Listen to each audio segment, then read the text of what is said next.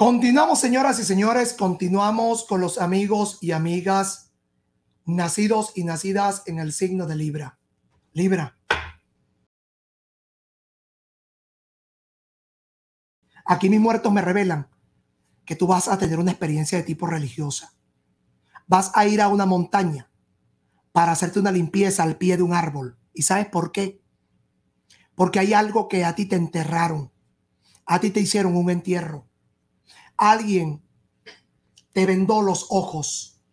Alguien le vendó los ojos a tu padre y a tu madre. Alguien se quedó con algo tuyo. Se quedaron con algo tuyo. A ti te sacaron de una herencia. A ti te correspondía una herencia. Un dinero, una propiedad, un negocio. A ti te sacaron. Las personas le pusieron una venda a los ojos a tu madre y a tu padre. Y te voy a decir algo. Había un cuento de camino. Había un cuento de camino. No, que si tú vas, eh, van a atentar contra ti, te van a hacer daño. Mentira. Eso era una fábula que inventaron esas tres personas. ¿Tú sabes para qué? Para quitarte el dinero, para apartarte del camino, para alejarte del camino, para sacarte del camino. Te repito, hubo una historia, una fábula. No, no vayas no vayas a ese lugar porque te van a atentar contra ti, eh, te están esperando, que te van a hacer daño. No, no, no vayas, e, esa gente es mala. Mentira. Esa persona creó esa fábula, inventó esa fábula. ¿Tú sabes para qué? Para que tú no fueras a cobrar tu herencia, para que ellos se quedaran con lo tuyo, para que se quedaran con lo que a ti te correspondía. Perdóname, tú hablas que la familia es la familia, sí, eso depende el tipo de familia. Porque tu propia familia, familia con quien tú no compartiste, familia con quien tú no tuviste un acercamiento, mientras esa persona fallecía, ya se estaban repartiendo la herencia, ya se estaban repartiendo el dinero, ya se estaban repartiendo los negocios. Aquí, en tu trabajo, yo sé que tú estás pasando muchas horas de pie. Esto te va a causar un malestar en tu rodilla, en tus huesos, en tus pies, pero también un cansancio físico. Aquí veo, vas a presenciar una injusticia en el día de hoy. Vas a ver a unas personas hablando muy mal de tu madre, muy mal de tu padre o hablando muy mal de tu pareja delante de ti, hablando muy mal de alguien delante de ti. Vas a tener un hecho curioso relacionado con una cadena, con una prenda de oro, con un atuendo de oro. En la salud, en la parte de tu salud, tómate las cosas con calma, respira profundo. Tienes demasiadas turbulencias en tu cabeza. A un familiar tuyo, a una persona muy cercana, le arrancó la vida. A un familiar tuyo muy cercano, una persona muy cercana, le arrancó la vida. Tienes demasiado estrés, tienes demasiado agotamiento físico. A veces no te tranquilizas, a veces te angustias, a veces es como un estrés postraumático. Sientes dolores en la nuca, malestar estomacal, sientes como depresión. Hay algo con el estrés. Tu sistema nervioso puede colapsar en cualquier momento puede colapsar en la parte económica.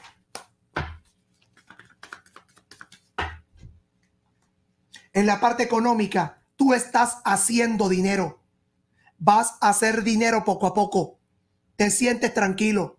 Hay muchas puertas que a ti se te cerraron, pero hay muchas puertas que a ti se te van a abrir. Ten cuidado con los envidiosos. Ten cuidado con los envidiosos. Yo presiento que tú vas a tener una gran suerte, sí.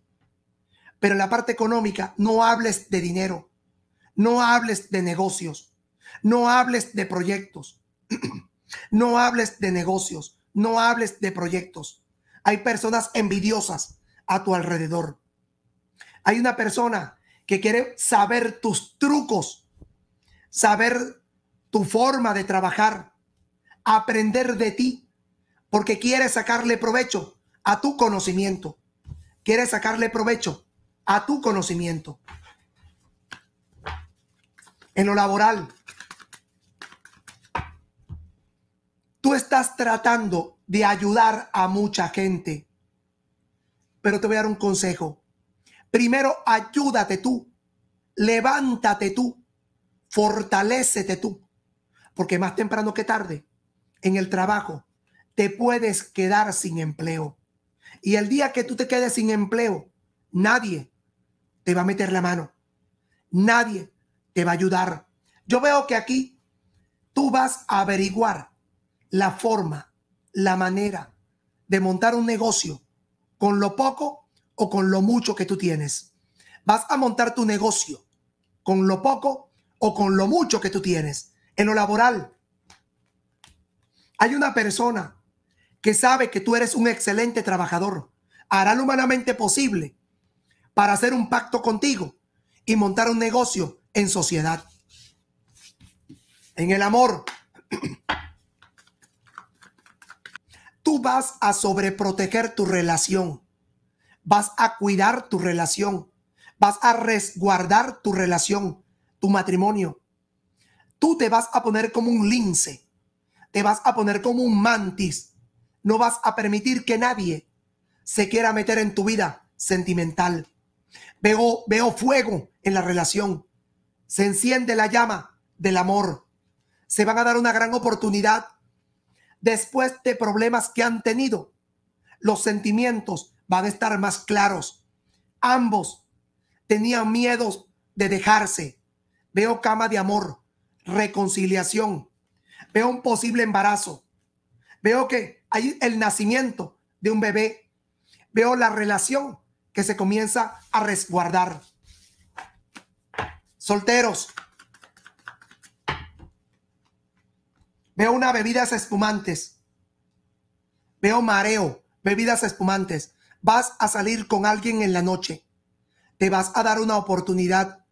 Veo que vas a salir a disfrutar, a compartir con esa persona ideal. No vas a regresar a tu casa, sino hasta el día siguiente. Resulta que vas a tener intimidad con esa persona. Y cuando llegues a tu casa, vas a sentir que, tus, que tu cuerpo cambia, Amiga, usted estaba ovulando. Amigo, usted va a dejar embarazada a una persona. Solteros, veo que vas a entrar en unos estudios, vas a practicar algún tipo de ritual, vas a entrar en una academia, vas a participar en un evento de tipo espiritual. Soltero, soltera. Divorciados, divorciadas. Una persona que falleció te dejó una herencia. Un miembro de tu familia se la robó. Te quiso sacar de tu herencia. Lo que esa persona nunca supo o lo que esa persona no sabía es que tú en cualquier momento ibas a despertar. Ibas a cobrar lo tuyo. Vas a cobrar lo tuyo. Aquí va a haber una guerra por herencia. Una persona que fallece. Los hijos se van a enfrentar a ti. La expareja o la familia se va a enfrentar a ti, va a querer una tajada de este fallecimiento, va a querer un dinero de este fallecimiento, vas a quedar, hay una enviudez, hay la pérdida de un ser querido, hay la pérdida de una persona que amas, la guerra en los hijos por el dinero, vas a meterte en un gimnasio, tú quieres drenar el estrés que ha dejado tu expareja, veo que harás boxeo, bailoterapia, te vas a liberar de todo el malestar, del dolor de cabeza, de la angustia y quizás de la separación, del tormento que tú has tenido. Primer decanato, veo cama de amor. Veo, vas a crear una página web o vas a crear una cuenta de red social para dar a conocer tu trabajo. Aquí veo que tienes un proyecto en mente que tú quieres materializar.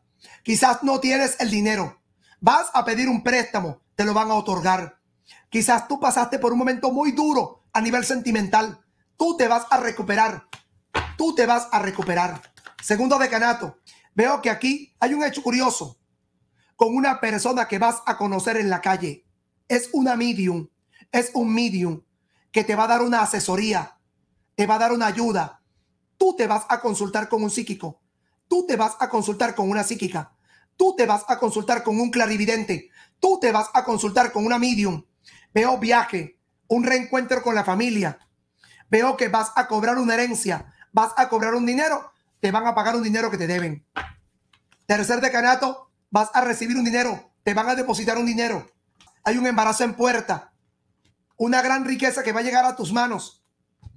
Vas a conocer a alguien que está embarazada, que va a tener morochos, gemelos. Vas a cumplir una promesa en tierras lejanas. Te vas a enamorar de alguien que va a estar dispuesto a hacer su vida contigo. Usted va a estar envuelto hoy o mañana en un problema de una herencia. Usted va a tener una guerra por una herencia. Vas a confrontar a alguien por una herencia. Veo que va a haber dinero por una herencia. Va a haber dinero por un asunto económico. Ya regreso con Scorpio. Señoras y señores, ya regresamos con Scorpio.